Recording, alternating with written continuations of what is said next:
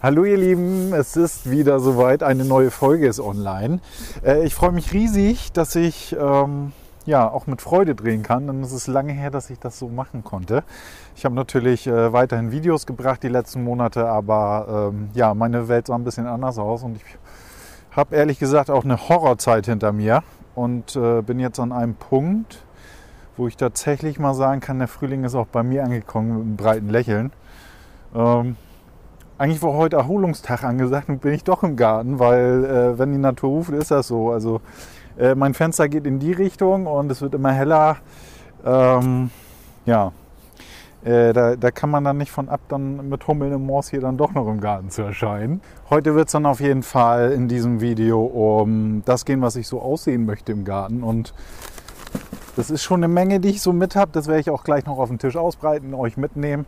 Ähm, parallel sind natürlich auch Sachen wieder passiert. Äh, die Dinge wachsen, die Natur, die beschenkt einen echt, wenn man da mit so viel Liebe rangeht im Detail. Ich habe ja die Videos gedreht. Äh, was war das? Fe Februar, März, ja. Äh, Gartenarbeit auch mit Flo, wo ich dann hier so in den Beeten unterwegs war und gezeigt habe, was ich da eingesät habe.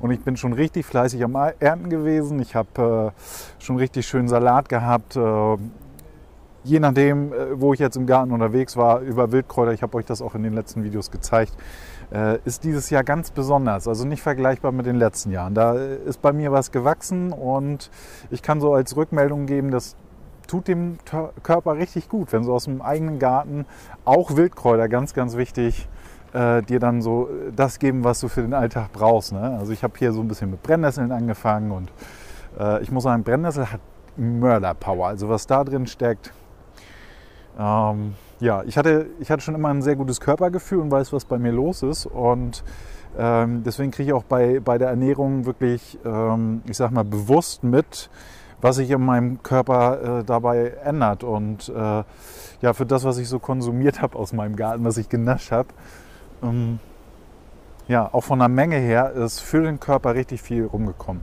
Naja, die Sonne ist jetzt weg. Das wird sich wahrscheinlich auch so dieses Video durchziehen. Äh, jetzt direkt mal gefühlt 10 Grad weniger. Aber wir ziehen das einfach mal durch. Hm, hat mich jetzt ein bisschen rausgebracht. Wo war ich denn gerade stehen geblieben? Könnt ihr mir da helfen? Ja, ich, ich würde sagen, Frontalbestrahlung beenden wir mal und wir widmen uns mal der Geschichte und äh, da zeige ich euch einmal, was ich da so mitgebracht habe. Ich habe es ehrlich gesagt noch nicht sortiert. Das mache ich jetzt erstmal. Ja, sind ganz verschiedene Sachen. Und gestern war ich äh, mithilfe im Gewächshaus und konnte noch mal ein paar Sachen aussehen. Das ist ja noch eine Geschichte, die habe ich ja im Dezember gekriegt. Äh, da weiß ich nicht, äh, bis heute nicht, was das ist. Ist das vielleicht eine Melone? Haben wir gestern auch in die Erde gesteckt. Da mit einem dicken Fragezeichen mich gespannt, was das wird. Ob man das irgendwie noch herausfinden kann. Äh, Palmkohl rausgebracht, nochmal verschiedene Zucchini-Sorten, äh, Kürbissorten. Äh, nochmal Zucchini, äh, Luffergurke wurden mir alle, äh, ist nichts geworden. Also nochmal probiert. Äh, habe ich sogar noch eine zweite Packung gefunden. Ich dachte, ich hätte keine mehr. Da hat mir jemand nämlich mit Saatgut eigentlich weitergeholfen. Dann hatte ich es doppelt. Da werde ich mich auf jeden Fall nochmal revanchieren, falls du zuguckst. Und hier, was haben wir da? Da müssen wir erstmal gucken. Achso, Kohlrabi Superschmelz. Ich habe, äh, bei der Geschichte ist das so, äh, mit dem Kohlrabi, ähm, ja, habe ich ja andere Sorten auch angebaut. Also einmal die normale Größe, die ihr da draußen meistens auch kennt, bis auf die natürlich den Kohlrabi Superschmelz dann schon mitgekriegt haben.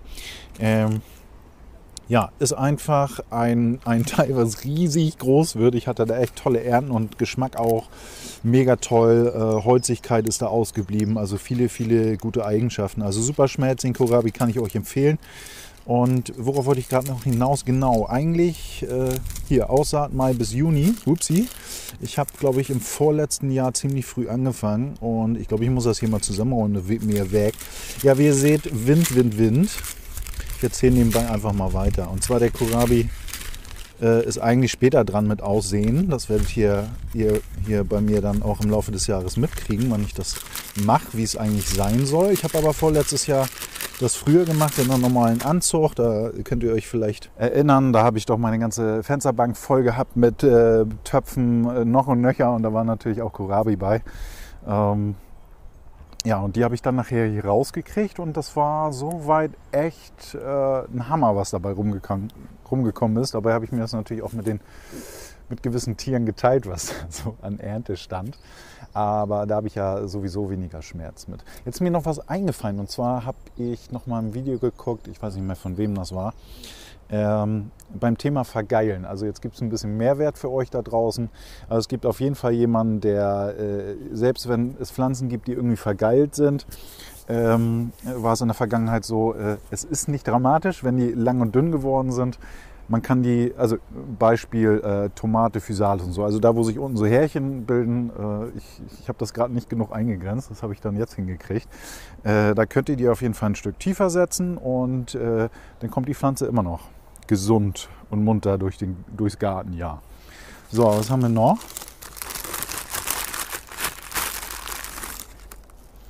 Ah ja, das habe ich verpackt. Das kann einmal zur Seite. Dann habe ich hier Sachen, die wahrscheinlich noch Mitte des Monats dran sind. Den Rosenkohl, was haben wir da? Da haben wir, kann ich nicht sehen. Ach so, Mais, Mais, Mais, Mais, Mais. Ne, da wahrscheinlich auch Mais. Ne, Knollenfenchel ist da noch zwischen. Und der chinesische Sellerie habe ich hier wohl noch zugepackt. Das sind auch noch Kandidaten. Das Ding war ja fertig.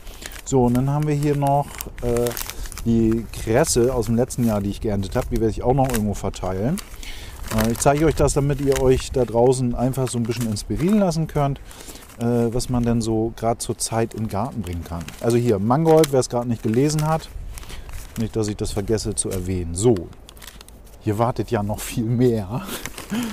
Und zwar habe ich hier, ups, genau, ich habe ja Gartennachbarn bekommen.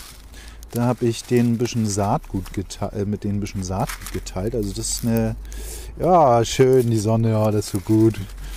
Ja, ähm, das ist das. Das sind auch so Sachen, ne? die könnt ihr übers Jahr verteilt. Ich erwähne es schon in den letzten Videos wieder. Spinat, Karotten, Radieschen, die könnt ihr gut mischen.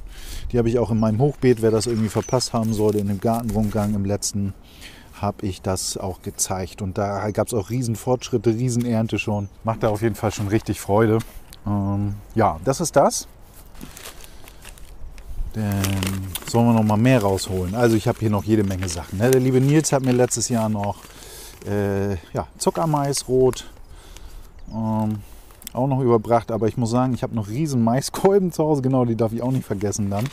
Äh, Mitte März, äh, Mitte April Aussaat äh, ist perfekt für den Mais. Auch wenn man ein bisschen später dran ist, da kommt auch noch was bei rum. Ist halt so eine Wetter Lagenfrage und ne, wie ihr wohnt. So, das ist mein Pikierstab. Gut, dass ich den wiedergefunden habe. Dann geht äh, in Sachen, Mann, jetzt stehe ich auf dem Schlauch, Mangold noch mehr. Das, hier sind die Mangold-Farmen. Wir hatten ja gerade schon Mangold. Dann habe ich hier so ein paar Sachen, bei denen ich noch nicht weiß, wie ich da vorgehen soll. Ist das, ach so, das ist Blumen, Blumen, Blumen. Das lasse ich komplett außen vor, das hat noch Zeit. So, nehmen wir auch noch ein Tütchen. Nee, das war zum Wegwerfen, genau. So, dann habe ich hier noch ein Bundle für. Wenn ich da nicht. Also, also hier habe ich einfach noch Tütchen gefunden, bei denen ich mir unsicher war. Hier mal zum Zeigen. Nochmal Mohn. Hier haben wir Gewürztaget, ist nochmal drunter. Dann habe ich hier unten nochmal äh, bunte Beete. Dann haben wir noch die Zwiebelsorten. Also es sind alles Sachen, die ich mir jetzt rausgesucht habe, die für mich für diesen Monat noch auf dem Zettel stehen. Ne? Und ihr wisst ja, für mich ist das nie zu spät. Das hatte die letzten Jahre auf jeden Fall gezeigt. Einfach machen, da kann man so viel Erfahrung sammeln und das ist, äh, festigt sich und das kann man dann auch mit den Mitmenschen teilen. Das ist äh, immer eine Riesenfreude, wenn irgendwie durch meinen Garten tingelt und dann äh, neugierig ist, wie alles funktioniert und man dann von seinen eigenen Erfahrungen erzählen kann. Und das ist ja auch direkte Erfahrung. Und wie ich dann vorhin schon erzählte, äh, unten in Bayern läuft das nicht so wie bei uns hier. Also ne, stürmisch, kann äh, viele Regenperioden haben. Äh, hat die letzten zwei Jahre gezeigt, kein Tomatenjahr in, in, im Sinne von äh, so richtig Schub. Ich hoffe, dieses Jahr geht mal was ab. Das würde ich richtig schön finden. Oh ja, Sonne, bitte. Ja, ähm, bitte bleib doch einen Moment. Ja, äh, so, äh, wo bin ich denn jetzt stehen geblieben? Direkte Erfahrung, Tomatenjahr. Tomatenjahr will ich noch zu Ende bringen. Ich habe heute wieder den Sabbel Philipp. Ähm, Tomate, Tomate, Tomate. Jetzt bin ich echt rausgekommen. Ja, das erste Jahr war ein Tomatenjahr. Das war echt toll. Also auch Freiland geht richtig ab. Das kann ich euch empfehlen. Freiland sowieso ausprobieren. Ich ziehe ja auch von den Pflanzen, die durchgekommen äh, sind, äh, habe ich auch schon jede Menge Tomatensamen gezogen. Und äh, ja, solche Sachen kommen dann da rein. Aber es gibt ja genug Saatgut, was mich dann auch gerade im Dezember noch mit erreicht hat. Hm. Ja, und das äh, gilt es dann zu testen. Mal gucken. Bei den schwarzen Tomaten habe ich zum Beispiel die Erfahrung gemacht, also überall, wo dieser lila Touch drin ist. Äh, Dankeschön. äh, da kann auf jeden Fall, äh, da muss man ein bisschen mehr Geduld entwickeln, weil das sind Tomaten, die sehr spät reifen. Von daher, also das habe ich auf jeden Fall bemerkt. Oh, das hört sich gut an. Mich hat wieder ein Vogel abgelenkt. Ich kann sagen, bei mir sind regelmäßig äh, äh, die, die Zaunkönige unterwegs und ich habe irgendwie ein bisschen was dazu gelesen. Die ähm, sind nicht, äh, also wenn man die im Garten hat, kann man sich echt freuen. Das macht mich auch echt sehr glücklich, weil wenn die hier rumträllern, die Kleinen, oder hier in der Weide sitzen und so, ist echt ein, echt ein Genuss. Rotkehlchen, also die Vögel werden auch definitiv mehr bei mir. Ne? Ist natürlich auch eine Frage der Wahrnehmung. Aber ja, egal, wir waren beim Saatgut.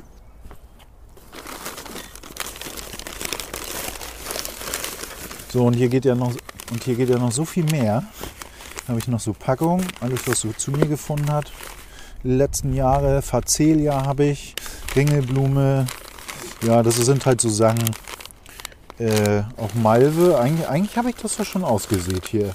Das sieht doch schon mal gut aus, wenn ich was abhaken kann. Wieso habe ich denn so viel mitgenommen? Habe ich wohl was? Auch nochmal Facelia. Jo, einen gucke ich noch nach. Kornblume. Ja, das ist, also, ja, eigentlich macht das auch Sinn, weil da kommen auf jeden Fall noch, noch äh, Geschichten dazu. Und ich habe natürlich auch für meine neuen Nachbarn ein bisschen, bisschen auch jetzt wieder hergeschafft. Da vorne ist noch so ein Beutel der da. Und das sind halt so Sachen, die man äh, ja auch weitergeben kann. Ich habe von Anfang an auf meinem Kanal auch, ups, ich habe auf jeden Fall von Anfang an auf meinem Kanal auch das Teilen gefördert. Teilen macht nicht nur glücklich, sondern das macht auch andere glücklich. Und ja, wenn man, und ich muss sagen, also ich werde nicht alle Saatgut, was mir ähm, ja, irgendwie zu mir findet, irgendwie in den Garten einbringen können, aber ähm, ja, das, was man so im Überfluss hat, bevor man das irgendwann wegwerft, wegwirft, dann teile ich das doch lieber. Ist doch eine schöne Sache. Das hilft doch allen weiter. Ja, ich gucke hier nochmal in die Päckchen rein hier. Das ist ja nur Aufbewahrung. Das, was draufsteht, ist gar nicht drin. Oh, hier ist ein bisschen was ausgekippt. Ringelblumenmischung, Blumenwiese, Ringelblumen. Ja, genau, da haben wir äh, vorne auf der Blumenwiese. Der hier, die hier hinten. Also das Ding macht schon Freude. Sehe ich schon überall was Grünes. Ah, ihr merkt das, ne? ich habe Hummeln im Moors. Das geht auch gerade nicht anders. Ich bin so gut drauf. Das war so eine, so eine lange, harte Zeit, muss ich ehrlich sagen. Und äh, jetzt äh, lichten sich die Dinge und ich habe mal weniger um die Ohren, womit ich klarkommen muss. Das stört einen dann auch äh, die Wolke vor der Sonne nicht, weil die Sonne kommt sowieso gleich wieder. Nichts ist beständig. Irgendwann hören die Dinge immer auf, die einem irgendwie gequält haben. Und ja, deswegen Sonne kommt zurück. Saatgut sind wir durch. Beim nächsten Mal, denke ich, wird es darum gehen, dass ich äh, den Flo wieder hier habe. Der hilft mir ja dieses Jahr. Äh, vielleicht wird es auch eine längere Geschichte. Auf jeden Fall echt toll. Ja, wir wollen das ein oder andere Beet angehen und äh, ja, äh, da, da gibt so, wir haben uns eine Zahl 10 festgelegt. Wir wollen bis Mitte nächsten Monat 10 Beete fertig machen. Also Aussaat vorbereiten, was auch irgendwie anfällt. Und ich denke, das ist eine super Zahl. Ne? Also das Keyhole-Beet ist 1. Ist ja doch schon ein bisschen größer. Ne? Kompost, guckt das im Verhältnis an. Das Ding äh, wird auf jeden Fall noch ein bisschen Zeit in Anspruch nehmen. Aber ich muss sagen, ich habe es jetzt ja mal sein lassen im Vergleich zu sonst. Äh, da habe ich immer früher mich drum gekümmert. Und ich finde, hier wurde ich belohnt. Äh, äh was sich da so in die Erde reinfrisst, durch das Mulchen, was sich hier tut, äh, Bodenlebewesen, die sich da um den Boden kümmern. Und ja, im Großen und Ganzen, das wird eine Geschichte, die wird äh, beim Umgraben quasi und Vorbereiten für die Pflanzung der Pflanzen von der Voranzucht. Ja, das wird noch richtig Spaß machen. Das ist immer so eine Freude, wisst ihr? Ich versuche euch da draußen ja ein bisschen äh, anzustecken mit den Dingen, dass wenn man so einen anderen Blickwinkel einnimmt und Arbeit, dieses, dieses Wort auch mal irgendwie wegschafft und sagt so, ja, heute darf ich im Garten sein, ein bisschen äh, die Hände in die Erde stecken, sich ein bisschen schmutzig machen, die Erde fühlen. Und da ist immer so viel Verbindung drin. Ähm, Leute, ich hatte vor drei, wie lange ist denn das jetzt her? Dezember 2017 habe ich angefangen. Ich hatte am Anfang mit all dem nichts am Hut. Also mit Gärtnern hatte ich nichts am Hut. Und ich habe es einfach gemacht, ich habe probiert, ich habe viele Sachen ausprobiert, ob es was wird oder nicht. Das spielt am Ende dann keine Rolle, weil das, was da an, an Antworten, an Erfahrungen rauskommt und äh, auch ein Gefühl, wenn man einfach die Dinge irgendwie ein bisschen anders betrachtet, äh, ja, da kommt einfach äh, Vergnügen bei rum und das kann sich nicht nach Arbeit anfühlen. Also ich freue mich schon ganz riesig auf dich, Flo. Ich weiß, du guckst jede Folge. Ähm, äh, wir wollen eigentlich erst heute starten, dann habe ich gefragt, hier sollen wir das nochmal schieben, da wollte ich mich erholen, bin jetzt trotzdem hier. Ja, und jetzt ist es dazu gekommen, dass, äh, oh Mann, habe ich ein Glück, guck mal da hinten hin. Also da würde ich ja mal sagen, mit den zwei Tauben, die gleich mal so symbolisch durchfliegen, habe ich eine Menge Glück gehabt.